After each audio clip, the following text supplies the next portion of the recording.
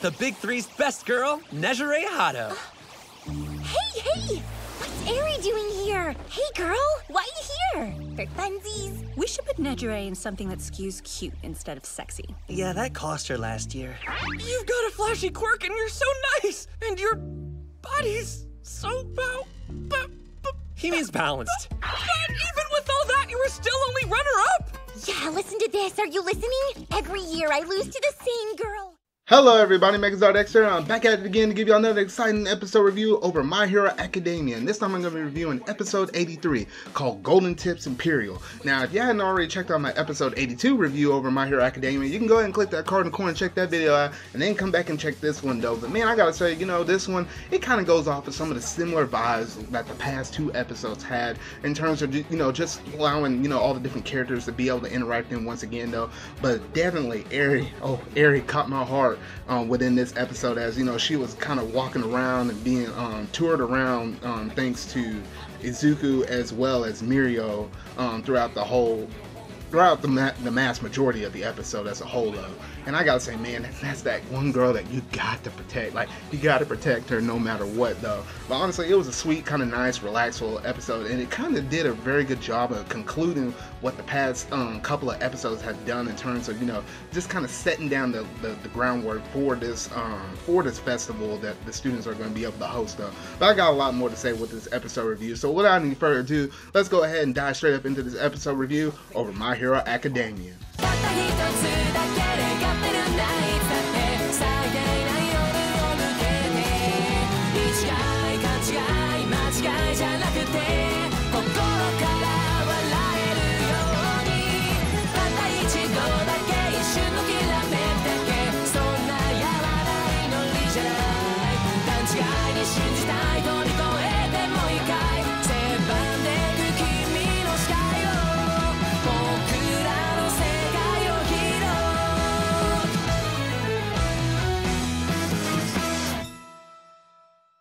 In some ways, this school festival arc is a fascinating look into what My Hero Academia could have been if it had started life as a Saturday morning cartoon. Okay, it, it airs on Saturday mornings, but you know what I mean. Seeing a story about a group of would be superhero students trying to put on a school festival while the nefarious villains try to crash the party to prank them conjures up fantasies of an entire syndicated series of episodic kid-friendly hero adventures. Maybe All for One runs the villainous school with the prestige Shigaraki leading the, the League of Delinquents though, but you know, that's just like a little quick fantasy, just idea of an offshoot idea you know, what things could have been like though.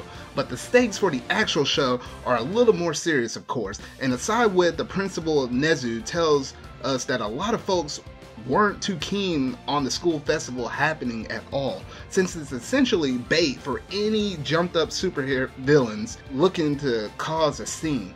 Nezu reiterates that the UA students have already taken to heart that the looming uncertainty of the future is exactly why they need need to savor as many moments of fun and normalcy as they can. Izuku and Mirio touring little Eri around the various classes reinforces this as we finally get to see her peeking through the cracks of her shell, if only for an instant. The festival itself may be a risk, but it's a hero's job to take risks if it will benefit others.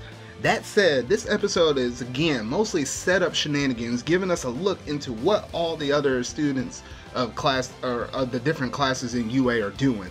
Class 1B is performing the beautifully titled Romeo and Juliet and the Prisoner of Azkaban, The Return of the King, and they seem very proud of it. Here's hoping for their sake uh, a superhero version of Warner Brothers isn't, you know, lit- litigious.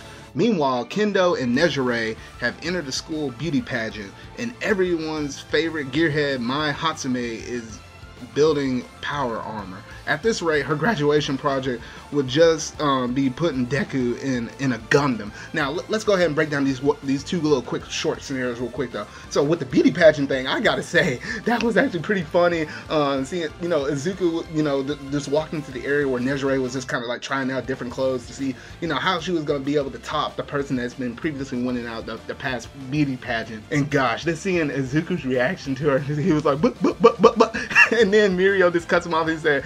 oh, he means balance. I was like, bruh. I'm like, bruh.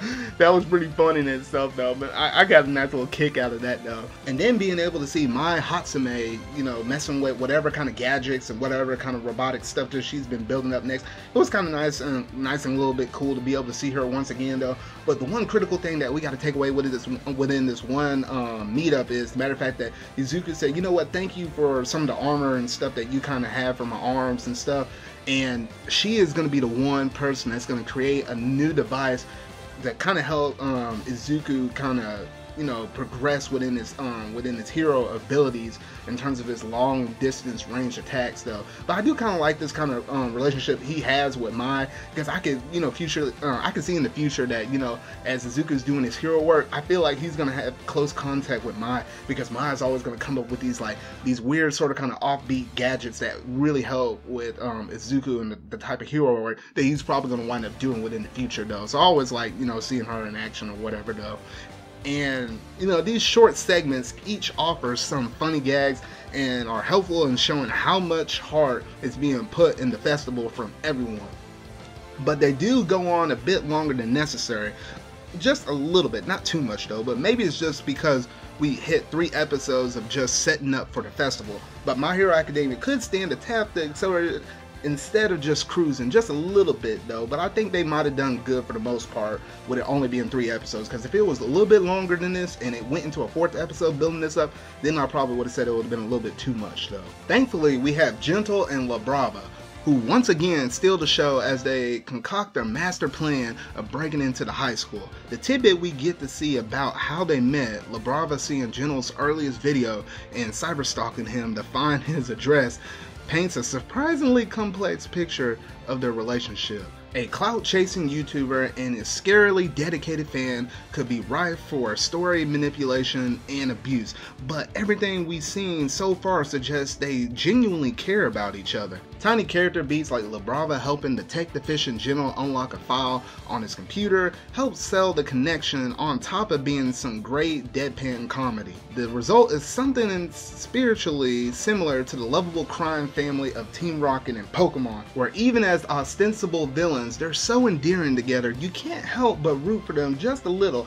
even if it's just a tad little bit. And that's what keeps Golden Tips Imperial from feeling like just like a part two of the last episode even as somebody who's quite enjoying seeing the rest of the cast share the spotlight, I do find myself getting impatient to see things, you know, kind of come to head because you know it's been sort of kind of like the same within the past few episodes. So it's nice that you know for the preview promises that we're finally reaching the main conflict of it all next week. My Hero Academia can have a habit of you know revving its engine longer than necessary. So while the school life you know breather has been fun and I've been enjoying it for the most part, it's probably better to kind of get down to the business already though. So I'm really looking forward to that, and I'm kind of glad we got that kind of preview that kind of showcase you know what's kind of coming up next. And the matter of fact that we're we're gonna start picking up the plot a little bit more within the next week's episode though. But other than that, that's about it for this review though. So man, I gotta say, you know, this episode was pretty cool from start to finish though. And it was nice being able to see and catch up with all the characters though. But now that we kind of got all of that kind of set to the side now, we got introduced to all these different characters. Not only just our 1A students, but our 1B students, um, the upper class students, you know, with the big three and maybe some other people we saw kind of on the sidelines it, it's finally time to be able to get that LaBrava and Gentle Criminal action down into play in terms of you know Zuko being able to face them and saying, you know what, hey, I don't care what is on y'all's agenda though, but you ain't going anywhere near the UA um the UA festival because I ain't gonna let you um mess it up. I ain't gonna let y'all try to throw things into chaos, and I'm not even letting you get anywhere near Eri after I worked my butt off in the last arc you know, to be able to save her life yet for you to potentially come in here and traumatize her. No, that you must protect that girl at all costs, though.